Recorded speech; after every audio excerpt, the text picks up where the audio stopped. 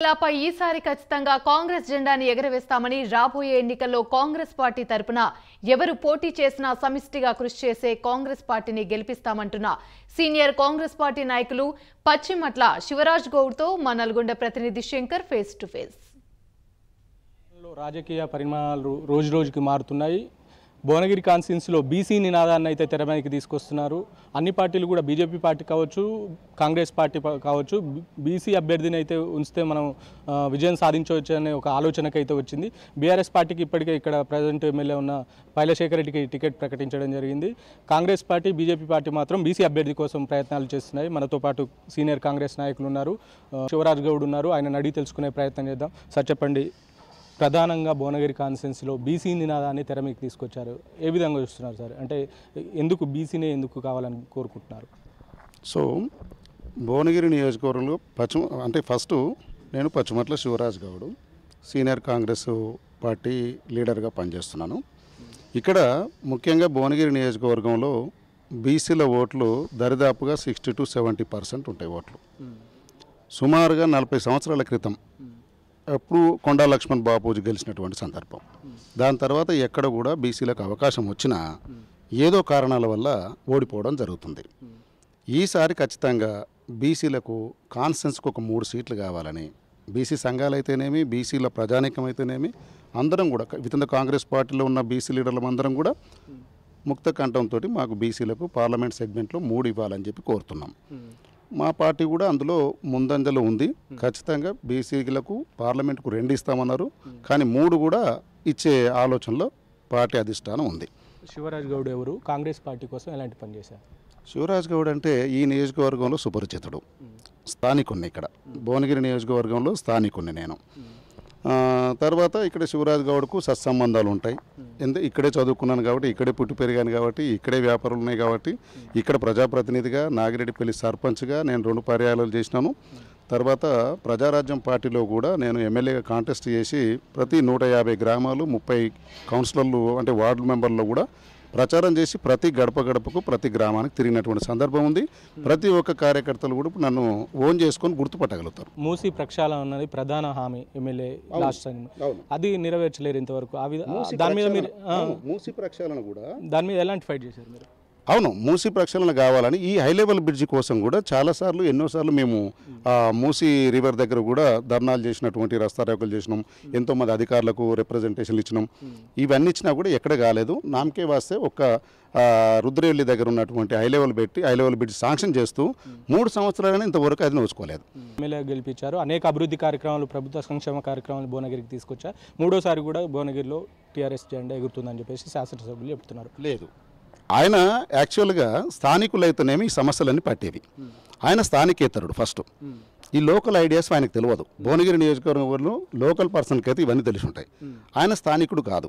స్థానికేతరుడు కాబట్టి ఆయనకి అన్ని ఐడియా లేవు. ఆయన్ని కూడా పట్టించుకునే సందర్భాలు లేవండి. నువ్వు పదేళ్ళు అవుతుంది ఒకసారి అసెంబ్లీ డేటా తీయండి. అసెంబ్లీలో ఒక్క నిమిషం అంటే డెబ్బై ఒక్క సెకండ్లు మాట్లాడిన ఘనత పైలశేఖర రెడ్డి గారికి అండి అసెంబ్లీలో ఆయన స్వయంగా ఏమైతే లేవదీసిండో డెబ్బై ఒక్క సెకండ్లు అంటే వన్ మినిట్ లెవెన్ సెకండ్స్ అండి. ఇంతవరకే మాట్లాడిండు. మీరు గవర్నమెంట్ తోటి ఈ గవర్నమెంట్లో సభ్యుని కదా. శాసన చట్టాలు చేసే శాసనసభలో మీరు మాట్లాడవలసింది కదా. మూసి ప్రక్షాళన గురించి మాట్లాడాలి కదా. మూసి హై లెవెల్ గురించి మాట్లాడాలి కదా. బీబీ నగర్లో కాలేజీల గురించి మాట్లాడాలి కదా. బీబీనగర్ ఇండస్ట్రియల్ పార్క్ గురించి మాట్లాడాలి కదా. ఈ జిల్లాకు ఒక ఇండస్ట్రీ పెద్ద మేజర్ ఇండస్ట్రీ తీసుకురావాలి కదా. ఈ జిల్లాలో ఉన్న నిరుద్యోగ సమస్యకు పరిష్కార మార్గం చూపాలి కదా. గవర్నమెంట్ తోటి కన్సల్ట్ చేసి మీరు. అలా ఎందుకు చేయట్లేదు? అలా చేసినప్పుడు ఈ నియోజకవర్గం బాగుపడుతుంది. ఈ నియోజకవర్గంలో పూర్తిగా విజన్ ఉన్న వ్యక్తిని నేను. ఈ నియోజకవర్గంలో ఎలాంటి అభివృద్ధి కావాలో నాకు తెలిసిన వ్యక్తిని. ఖచ్చితంగా అవి నేను చేయగలుగుతాను. ఏంటి భువనగిరి కాన్సెన్స్లో కాంగ్రెస్ పార్టీలో వర్గ విభేదాలు ఉన్నాయా? అంటే మీ పార్టీని వ్యతిరేకిస్తూ స్థానిక ఎంపీ గారైన కోమటిరెడ్డి వెంకరెడ్డిని వ్యతిరేకిస్తూ బీఆర్ఎస్ పార్టీలో జాయిన్ అయ్యిండు. ఇక్కడ ఉన్న కుంభమణి రెడ్డి ఏ విధంగా ఉంది? ఆయన పోయిన తర్వాత ఏమన్నా పార్టీకి ఎఫెక్ట్ జరిగే అవకాశాలు ఉంటాయా? చూడండి ఇప్పుడు కుంభం అనిల్ రెడ్డి ఆయన స్వార్థం లేకపోతే ఆయన వ్యక్తిగత ప్రయోజనాలకు పోయిండని చెప్తాను నేను. ఎందుకంటే కాంగ్రెస్ పార్టీ ఎప్పుడు కూడా ఆయనని విమర్శించలేదు. మా ఎంపీ గారు కూడా ఆయన ఏ రోజు కూడా అనలేదు. కూడా పోయిన వాళ్ళు. ఏంటి ఇచ్చే అవకాశాలు ఉన్నాయా? బీసీకి ఇక్కడ ఈ సెగ్మెంట్ నుండి అసెంబ్లీ టికెట్ బీసీలకు ఇచ్చే అవకాశాలు ఏమైనా ఉన్నాయా? హండ్రెడ్ పర్సెంట్ బీసీలకు ఇస్తారు. ఈసారి హండ్రెడ్ పర్సెంట్ బీసీలకు భువనగిరి ఇస్తారు. తప్పకుండా బీసీలను అంతా సమాయత్తం చేస్తాము. యూనిట్ అవుతాము. ఖచ్చితంగా ఓసీలని బీసీలని ఎస్సీ ఎస్టీ మైనార్టీలు అందరిని కలుపుకొని పోతాం. తప్పనిసరిగా భువనగిరిలో నలభై ఏళ్ళ సంది ఎగరన్నటువంటి జెండా కాంగ్రెస్ పార్టీ జెండా ఎగరేస్తుంది. బీసీ ఎమ్మెల్యే తప్పకుండా ఎన్నిక ఎందుకు ఈ నినాదాన్ని తెర మీదకి ఎందుకు తీసుకురావడం జరిగింది ఈ టైంలో? అంటే ఇప్పుడు కా పక్క రాష్ట్రంలో చూశారు కాంగ్రెస్ ఇది కర్ణాటకలో. కర్ణాటకలో ఈ ప్రాతిపదికనే మాకు ఉదయపూర్లో ఒక డిక్లరేషన్ చేశారు. బీసీలకు ఇన్ని సీట్లు ఇస్తే అత్యధికంగా ఉన్నటువంటి పాపులేషను వీళ్ళు వెనకబడిపోతున్నారు. వీళ్ళ దాంట్లో చదువుకున్న వాళ్ళు ఉన్నారు మేధావులు ఉన్నారు.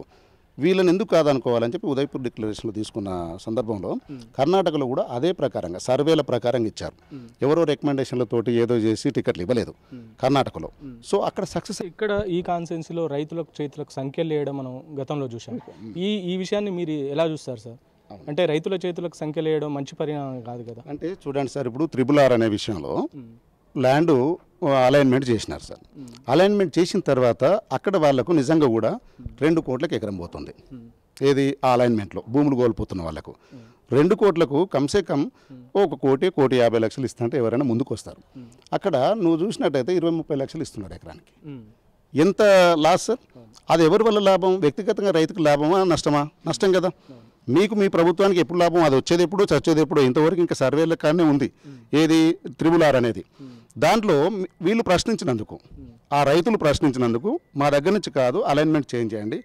లేకపోతే మీరు గవర్నర్ ఆ గవర్నర్ ఆర్డినెన్స్ తీశారు కాబట్టి మీకు సపోర్ట్ చేయాలంటే మాకు కంపన్సేషన్ అనేది అంటే క్షేత్రస్థాయిలో పరిశీలన చేసి ఎంత మార్కెట్ వాల్యూ ఉంటే అంత ఇవ్వమని అన్నారు అన్నందుకు రైతులకు బేడీలు వేస్తారండి ఈ ప్రభుత్వం. అది ఎంతవరకు కరెక్ట్ రైతులందరూ కసిగా ఉన్నారు. త్రిబుల్ ఆర్ నిర్వాసితులందరూ కసిగా ఉన్నారు. రైతులు కసిగా ఉన్నారు. కర్షకులు కసిగా ఉన్నారు కార్మికులు కసిగా ఉన్నారు. ఈ కాన్సెన్స్లో డబుల్ బెడ్రూమ్ పేరుతో కావచ్చు దళిత బంధు పేరుతో కావచ్చు అనేక అభివృద్ధి చెందిందని చెప్పేసి పార్టీ చెప్తుంది. ఓకే. అయితే ఇప్పుడు మీకు చెప్పినట్టుగా ఎక్కడైతే డబల్ బెడ్రూమ్లు వచ్చినాయి ఒక మా దగ్గర రెండు లక్షల ముప్పై ఎనిమిది వేల ఓట్లు ఐదు లక్షల పాపులేషన్ ఉంటుంది.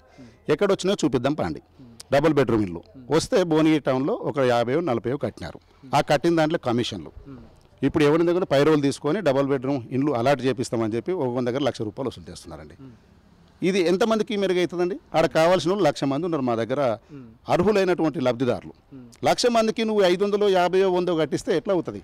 ఈ లెక్కలు వేసుకుంటూ పోతే నువ్వు ఎన్నేళ్ళకు అందరికి కట్టిస్తావు? నువ్వు యాభైయో వందో కట్టిస్తే అవుతుందా? లక్షల సంఖ్యలో ఇల్లు కావాల్సినటువంటి సందర్భం. అందుకనే మా కాంగ్రెస్ ప్రభుత్వం ఏం చేస్తుంది? ఎస్సీ దరిద్రులకు ఆరు లక్షలు ఇస్తుంది.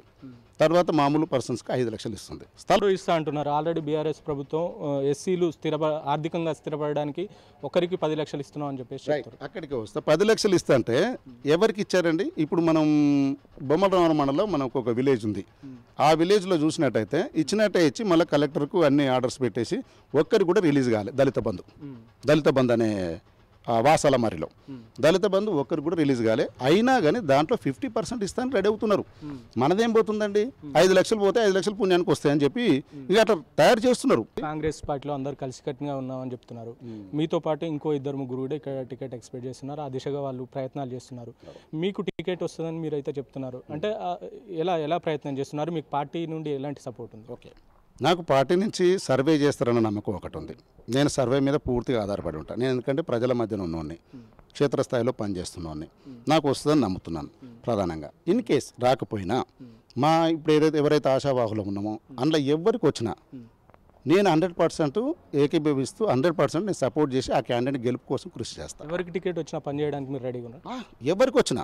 ఖచ్చితంగా కాంగ్రెస్ పార్టీ హైకమాండ్ నిర్ణయించి ఫలానా పర్సన్కి ఇస్తున్నాం చేయాలంటే హండ్రెడ్ పర్సెంట్ చేస్తాం. ఏంటి కర్ణాటకలో కాంగ్రెస్ గెల్ గెలిచిన తర్వాత తెలంగాణలో జోసు పెరిగిందని చెప్పుకోవచ్చా? ఆల్రెడీ బీఆర్ఎస్ పార్టీ మీద వ్యతిరేకత ఉంది. సంత ముందు సందే వ్యతిరేకత ఉంది. అది మా సర్వేలు చెప్తున్నాయి అది చెప్తున్నాయి. దానికి తోడు ఏంటంటే అక్కడ మా బీసీ పాపులేషన్లో ఉన్న వాళ్ళకి టికెట్లు ఎక్కువ ఇవ్వడం వల్ల ఆడ సక్సెస్ అయిపోయినారండి. ఆడ సక్సెస్ అవ్వడం వల్ల ఆ బీసీదే ఇక్కడ ఇప్పుడు తెలంగాణలో అమలు చేయాలని చెప్పని మేము కొట్లాడుతున్నాం. ఇక్కడ చివరిగా చెప్పండి భువనగిరి కాన్సెన్సీ యువకులకు కావచ్చు ఇక్కడ ఉన్న ఓటర్స్ కావచ్చు మీరేం చెప్పదలుచుకున్నారు పా- మీ పార్టీ తరఫున? కాంగ్రెస్ పార్టీ రేపు అధికారంలోకి వస్తే ఇచ్చిన ఏవైతే వాగ్దానాలు ఉన్నాయో ఇమీడియట్గా చేసే ఐదు వాగ్దానాలు ఉన్నాయి. మహిళలకు ఐదు వందలకే సిలిండర్. తర్వాత ఐదు లక్షల రూపాయలు మెడికల్లో ఏదైనా బిల్లు చేసుకుంటే రియంబర్స్మెంట్ కోసం ఐదు లక్షల బిల్లు పూర్తిగా కాంగ్రెస్ పార్టీ చెల్లిస్తుంది. తర్వాత రెండు లక్షల రుణమాఫీ వెంటనే.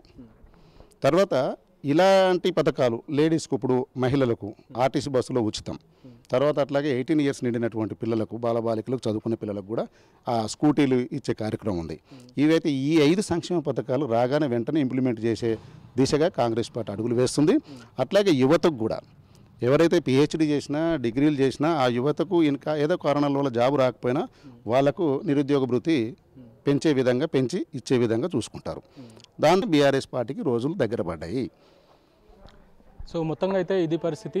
భువనగిరి కాన్సెన్స్లో ఎలాంటి అభివృద్ధి జరగలేదు. కేసీఆర్ మాటలకే తప్ప చేతలకు లేదని చెప్పేసి అయితే యువరాజ్ గౌడ్ చెప్తున్నారు. యువతకు ఉపాధి మార్గంగా అయితే కాంగ్రెస్ పార్టీ పనిచేస్తుంది. రానున్న రోజుల్లో కాంగ్రెస్ పార్టీ ప్రభుత్వాన్ని ఏర్పాటు చేస్తుంది.